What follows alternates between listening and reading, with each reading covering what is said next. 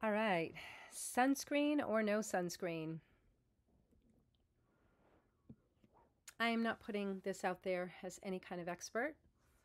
I do have over 20 years of studying skincare and health in general. I do have a degree in health science, but that really has nothing to do with anything. I just mention it because I did uh, spend some time in college actually studying anatomy, physiology, um, health in general. And even though pretty much everything I learned is not super accurate, aside from the fact that some of it was very accurate, some of the things I still remember to this day. And some of the things that I learned make me realize how pathetic some people are that have medical degrees next to their name and were promoting a certain, you know what, something that actually alters the way our biology naturally and normally functions, having to do with three little letters. Uh, yeah, it's it's kind of alarming that these people are in the positions that they are in when they don't even remember basic biology and what those three little letters actually do. And why you might want to think long and hard before you let somebody mess with yours. But that's a different video for a different time.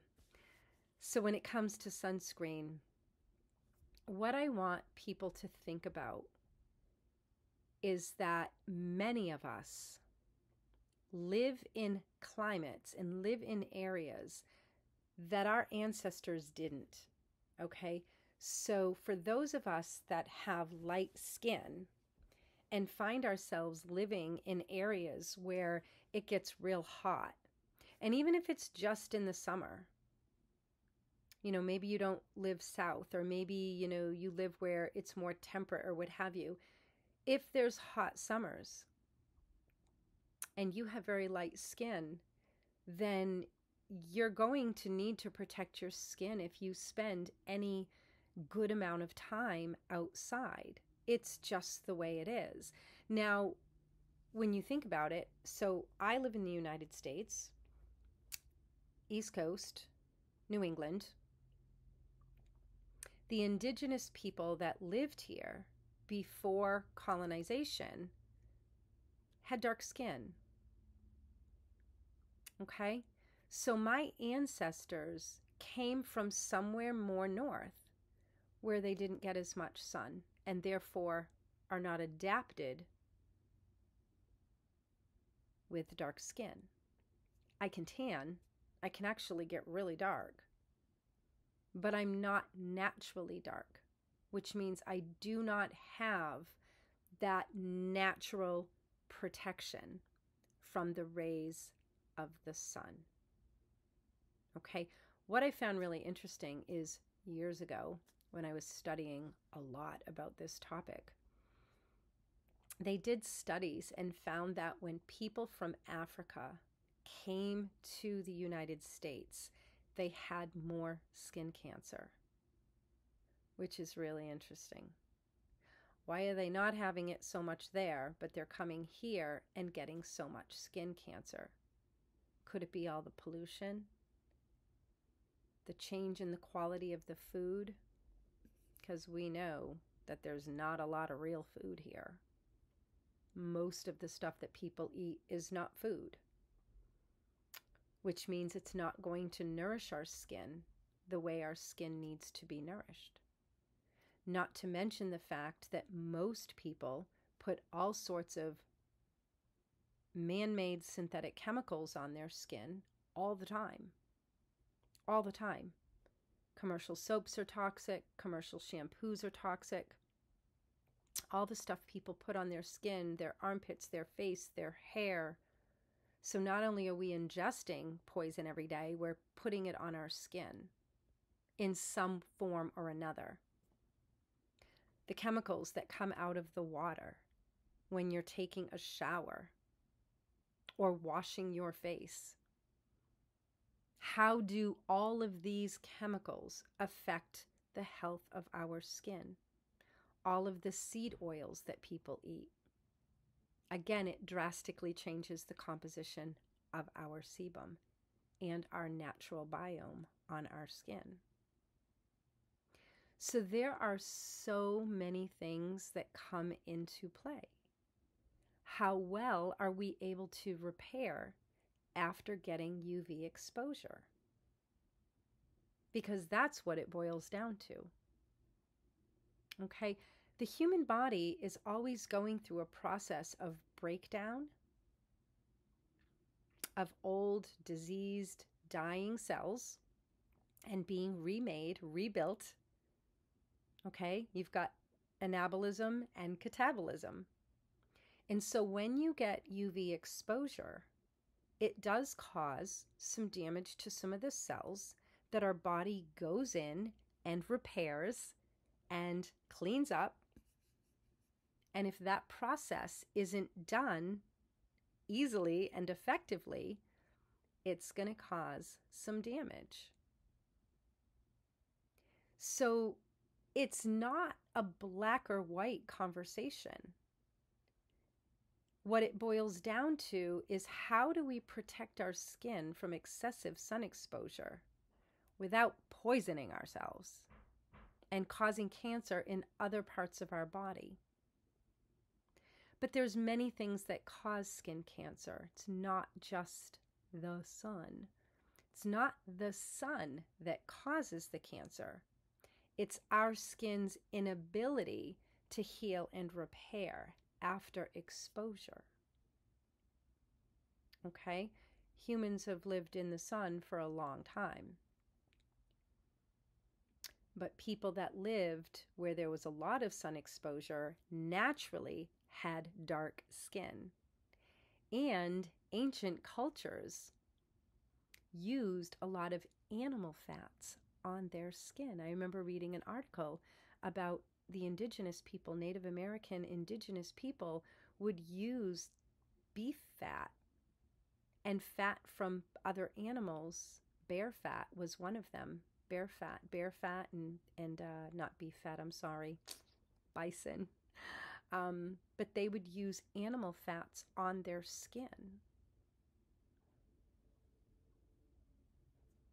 We know that the Polynesian love coconut oil, and you know, people in other parts of the world use different oils on their skin, but again, they have dark skin. So, applying these oils that have a little bit of sun protection is probably more than enough for them but it may not be enough for someone with really, really light skin who lives where it's really hot and has a lot of sun exposure. So, my ancestors probably came from somewhere where there wasn't as much sun exposure. Maybe it was cloudier or a little rainier or just more north, so the rays were not as strong. So, it's a really big area, and we need to, to really think critically. Okay, so again, You've got the options of a wide brimmed hat, linen clothing, cover your skin up.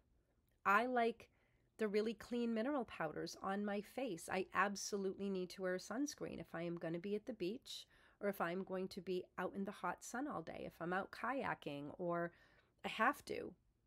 I, I absolutely have to, or my face will burn like a lobster. I have hypersensitive skin, especially since I had the frostbite. So I absolutely have to use something, but I will not use chemical sunscreens. Absolutely won't use them. So again, it's it's really just being mindful and doing what your body needs you to do to protect it. So on another note, what I wanted to mention is that there are stories out there of people that have had lots of skin damage from excessive sun exposure. And I've heard of some pretty amazing healings with aromatherapy using really good quality essential oils. And some have had some great results with uh, some of the plant oils, which I'm not quite as big of a fan. But the healings with the tallow and the animal fats are unbelievable. Unbelievable. That people are healing skin damage using animal fats. And the combination of the animal fats with the essential oils in the right amounts, the right concentration, and the right oils can be pretty incredible. But again, you don't want to be putting essential oils on your skin and then going out in the sun. So these are best to use at night or when you're not going to be getting any kind of excessive sun exposure. But the oils in and of themselves are good to use all the time. Now, how much sun protection are these oils going to give you? That I don't know. And it's probably different from person to person. So when I need a little sun protection, I use a little bit of the clean mineral powders with like four ingredients. I will put a little bit of that on my face, my neck, or wherever I need to cover up. And then I'm going to cover up with, with linen clothing. And if I need to, I'm going to wear a nice big hat. So again, it's a lot of information out there. So just be mindful. Um, you know, yes, we do need sun. We need it to synthesize vitamin D3. We need it for melatonin regulation and production. We need it for hundreds of thousands of different metabolic and biological processes that go on in our body.